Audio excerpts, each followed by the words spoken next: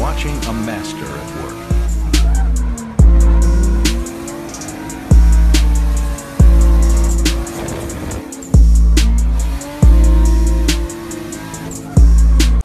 Alright guys, so today uh, I'm going to show you guys how I make my shirts.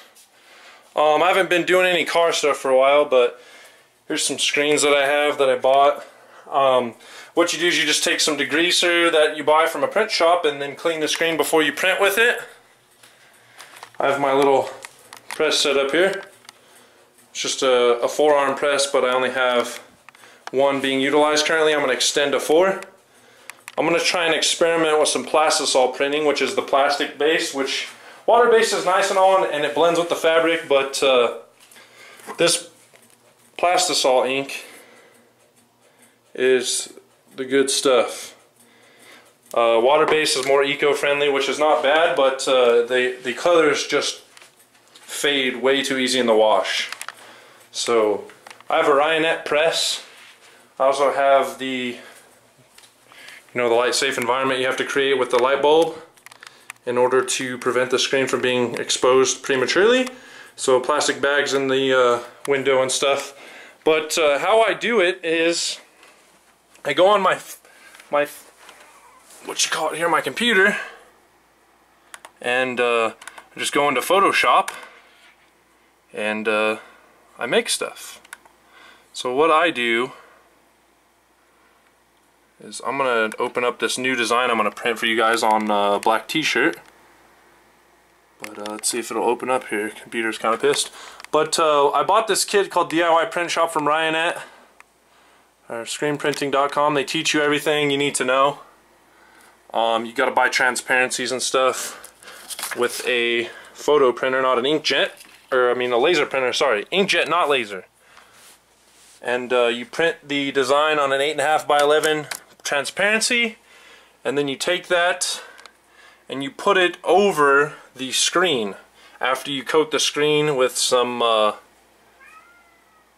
some of the water-based or plastisol-based uh, emulsion and you get a blank screen and then you just put your it's pink the emulsion's pink and then you put the transparency over the screen and burn the image into the screen with a UV light. So I have my little UV light right here. The exposure time is about 9 minutes depending on the screen and how thick your coat of emulsion is. And after that you wash it out right away and the design washes out. But the curing per screen is 4 hours. So you gotta wait 4 hours which kind of sucks. And plus, but uh, I recently just opened up my business. Um, on my big cartel if you follow me on Instagram or Snapchat it's Jesse Drifts but I opened up uh, my business I'm actually registered in the state of Colorado and stuff like that so uh, yeah I just been kind of messing with the design here. It's just pulling up the format. I'm gonna be doing an 8.5 by 11 print onto a shirt.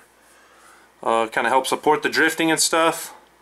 Um, things are getting pretty expensive so I don't know if I'll be able to uh, you know drift too much this year but here's one of the designs I've been messing with.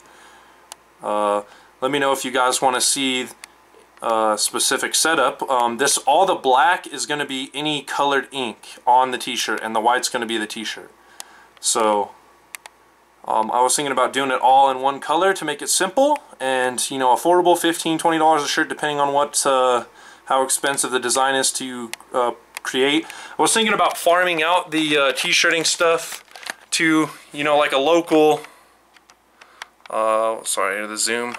I was going to think about farming out the uh, screen printing to a local company because mass production is, is really expensive if you don't have the equipment. I have the equipment to do mass production, but it's silk screening, which is expensive and it takes a lot of time, which I don't have a lot of. Um, most of the free time I have is spent fixing my car, getting it ready to drift, you know, doing stuff like that, buying tires, you know, going to the shop, helping Trevor, David, messing around, you know, doing that kind of stuff with the drifting, going to events. Um, but uh, I'm also doing my business, so that's taking a lot of my free time. So making the shirts and doing everything in-house by myself takes a lot of effort. And also, I'm not really that good at centering and, you know, getting the print's premium 100%, you know, no smudges or anything like that on the side. So uh, this is that. Uh, let me show you here. Alright, so I got my light, light safe environment set up. Uh, this old emulsion, emulsion is really bad. It's over three months old, so I have to mix some new emulsion up. I bought this WBP water-based plastisol, so it's a dual cure emulsion. It does water-based and, and plastisol since I do both. So I'm going to try and coat the screen after I mix the diazo. So let me put the uh, screen down here. You want to have a rag handy and you also want to use gloves because if you get this stuff on you it's definitely going to stain. Uh, so no reason to do all that. So what I'm going to do here, I'm just going to open up this uh, box. And you want to keep this stuff out of the sun. Like definitely out of the sun because all this stuff will go bad. It's light sensitive, all that kind of stuff. So it comes with the diazo that you have to mix. This is the diazo, you got to mix it with uh, uh, what's stuck in my head. I got to mix it with the uh, distilled water. So this is this will probably last like two, three, maybe four screens depending on how thin it is. So when you open it, you want to make sure you're not around. So they give you a little instruction sheet right here. Mix the diazo, to do all that stuff and mix it. If you have a high humidity level, you just want to make sure that you get a dehumidifier, but in Colorado we're really dry, so that's good. Uh, so what I have to do here is mix it after I put the distilled in here. So let me grab the distilled. Okay, so I got the distilled. What you want to do is you want to open this. Let's see if I can even open it here. And yeah, like I said, this does stain, so you want to make sure you get uh, some clothes you're not really fond of too much. Uh, once you mix it, it is a three month shelf life. You can get a little bit more life out of it if you put it in the fridge. Just don't allow it to freeze. So it's really bad. Let's see if I can even open this here. There we go. Oh yeah. So that's how you tell it looks like a pink cotton candy when it's nice and fresh. Nice bright pink, you can't see with the yellow light safe environment, but you take this diazo, You mix this in with distilled. Take a little bit and pour it in here.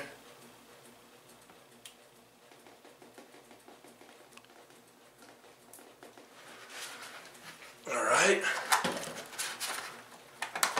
you can put that away. What you want to do is put the bottle on here and mix it. Make sure you dissolve everything.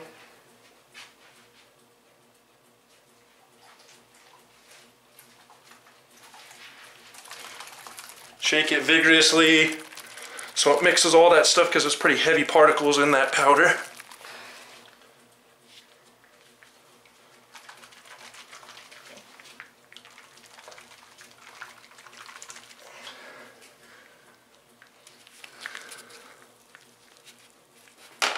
And just kind of pour that in there.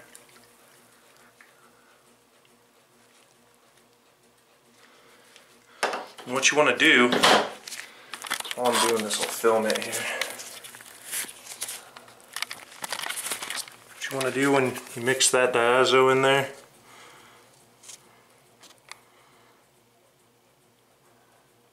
try not to spill it. Just mix the ink, go bottom to top.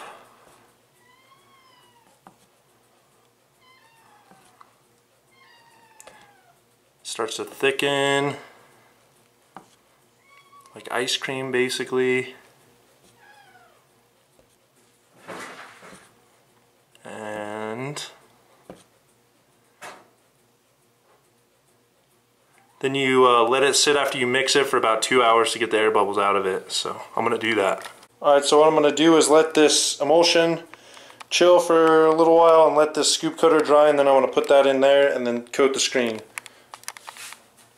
Alright, so since I'm waiting, I'm going to print one of these Colorado Drifting is Dope shirts for a, a homie in Chalarato. I'm going to try out these, uh, this new Lava Wilflex Slow Bleed Plastisol ink. So what I'm going to do is tape the edges so the ink doesn't bleed off into the fabric. Just make sure that the shirt's good, squared away here. And the cool thing with the plastisol is it doesn't evaporate, so it will print as long as it's clean. So you can leave it on the screen and just let it chill. But with the water base, you have to flood the screen like right away because it's gonna get evaporate the water and the ink's gonna stick in the screen and then your screen is ruined so you have to buy a new screen. So that's why I want to experiment with this new plastisol ink and see you know how it prints. Everyone says it's more vibrant colors, it doesn't you know fade out in the wash and stuff. So uh, I'm gonna set this screen up and then uh, show you guys how it prints I guess.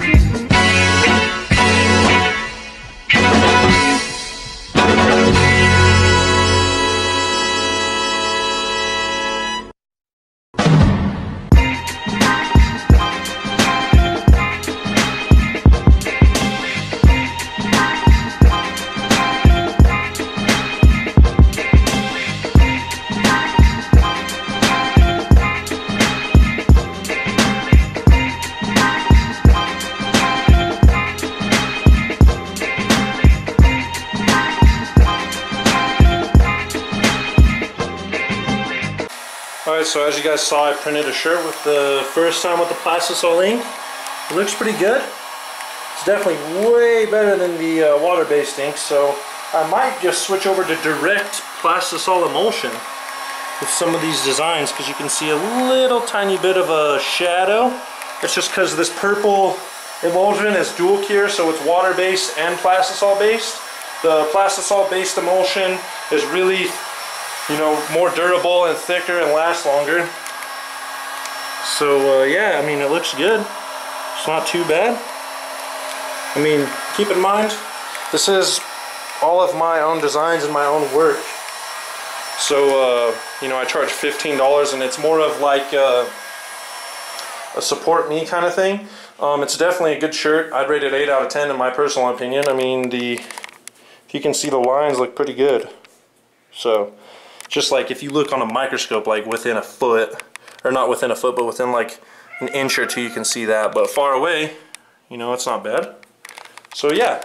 Um, but that's going back to what I was saying earlier about uh, I might just farm it out to a, a printing firm, you know, because they can do it premium and better and they have more products and equipment to make it nice, nicer than I can.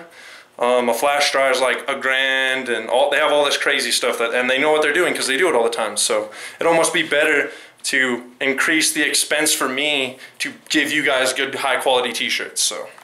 But uh, for little pop shop shirts to support the drifting and my channel and stuff and keep bringing you guys good content and good uh, you know apparel and and equipment and and stuff you know just uh, keep supporting me and buying the shirts and stuff. I do this just out of my free times. So I like wearing drifting stuff and stuff I can work on cars in and be like, yo, what's up? Look at my stuff. Like I like got cool t-shirts and stickers and stuff. I'm sticker crazy. So uh, I do have a sticker coming out soon. It's going to be uh, two or an inch and a half high by five inch wide slap of my car livery and my design. So uh, keep an eye out for that and uh, I'm going to link my big cartel in the link of this video and continue to show you guys how to print shirts. Next, I'm going to spread this emulsion and let the screen dry. So I'm going to do that right now. I'm going to do water-based with this and then I'm going to farm out the same design with a t-shirt company and compare the differences. So this is how you coat a screen with the emulsion. So I'm going to put the camera here and you can see me squeegee this. So you want to put it in the scoop coater on the sharp side to get a nice clean dip here. So this has been sitting. You want to fill it up a quarter of the way. So we want to do this. There you go. And it gets really, really messy. So you want to have a rag handy, most definitely, so you can get this stuff kind of not sticky all over the place. As you can see, my table's pretty, pretty gnarly around here. Um, so I clean all that stuff up. And what we'll do is we'll just put this back on here in case I need to use it later. So you let the ink chill. You can see here, it's in there, ready to go. So I'm gonna take this and scoop it onto the screen here. So you want to do the back side first. Hold the screen at a 45 degree angle. Tank, come here. Hear my cat meowing. So what you want to do is go to the bottom on the edge here. Kind of go to the bottom. Put the screen right there. You want to dam the ink up to the screen here. So you dam it, kind of pull back, at a 45 degree angle, flood the screen, and saw the top. So I kind of got a little messy here, but what we'll do is we'll dam it again, and we'll go up. And let me just saw it a little bit more.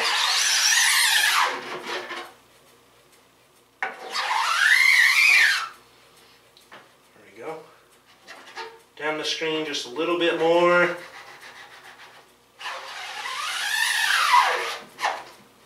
Get that in there. And it is pretty messy, so I would recommend definitely doing a couple more screen coats. Slide it up there. You want that zip sound, so that's what you want. So that looks good. little sweep here.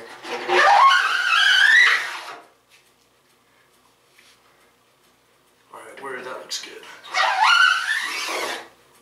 Nice even pressure. So that's good. See a little bit of an ink spot right here in the middle. I'll try and get that out a little bit.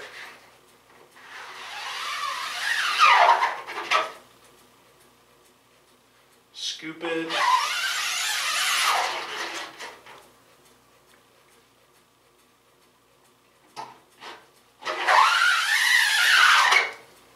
So I'm not an expert or anything like that, but uh, I've done it enough to where I can do it uh, pretty good. Just, just really messy. I'm really messy. My nickname for my parents is Messy Jesse. So that looks pretty good.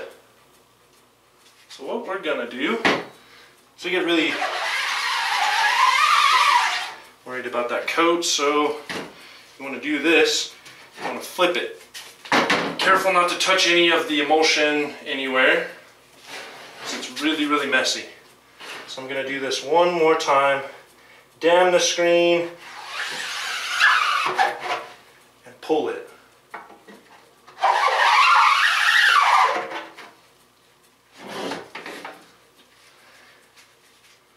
Got a little dot on there, get that out.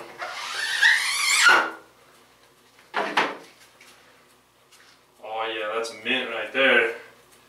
That is freaking premium. All right. So, what you want to do is you want to get this scoop coater, move it out of the way, set up some utensils to store this screen upright to dry. I'm gonna do that and that. All right, Tank, calm down, buddy. So when you have like children or pets or something, you want definitely want to keep them away from this stuff because if it gets on them, it's going to be hard to get off. So you want the bottom side to drain or gravity feed the dry ink down. So the flat side down, and you want to let it dry for four hours. And to reclaim some of this ink, what you can do is just take the scoop coater and just do this with your finger. Pour it in there, because this stuff is like 45 bucks for this, this little pint of ink. So what I do is I just do this with my finger. Oh, Scheisser. Messy Jesse living up to his name. Pour that back in there. There you go. There you go. Alright. So that's pretty much well done clean. I'm going to put this in the sink. See, that's the thing that I love about water-based ink and stud is it cleans up really easy. Plastisol inks are everywhere because it's water-based. So, yeah, it's freaking crazy. So I'm gonna let this chill. I'm gonna wipe it off a little bit more. Once this, once again, this emulsion, uh, put a date on it. It's once you mix the diazo into it, it'll only last three months. So that's that. I have a little mini fan right here. I need to set up. So I'll set this up just to help dry it a little bit.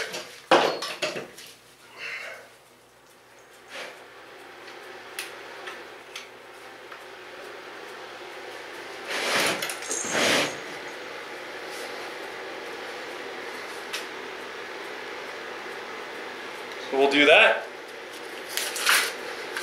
Take off the gloves and now you're good. So if you look, nice clean surface. So that's that. Okay, so what you want to do is set up your UV setup and I'm going to turn the light off and then plug this in because you gotta get this all done up right so it uh, cures correctly. So let me just orientate this so it doesn't get on the screen here. So we're gonna do that. You plug it in, set the timer for nine minutes. I'm gonna do 10 just to be safe. So what I'm gonna do is turn this off and you let it expose for nine minutes. You want to center the UV light right above the screen and invert it, so see how it's backwards? That's what you want to do. Make sure it's center, draw a center line. I drew a center line on the other side. But this is the new design, new design I released on my Instagram coming out. I'm also going to, like I said, have somebody else uh, print a run of these as well. And do a quality comparison of mine versus a professional shop. So what I'm going to have to do just keep the lights off. Hopefully this doesn't affect it, but basically you just don't want the UV light to get to it. So you got to use positive pressure. I'm going to use this to spray it out, but and we will see. Alright, so I just got done finishing up the screen, uh, washed it out and all that stuff. It's hard to film by myself, but here's the back side. Can't really see it in the dark, but it looks pretty good. See if I can, I gotta let it dry, but looks pretty good. No spots through it. See through it, that's good. The emulsion isn't peeling or flaking, so Look at the GoPro. oh, that's funny. But yeah, if you want one of these, let me know. 15 bucks plus shipping. Thanks for the support.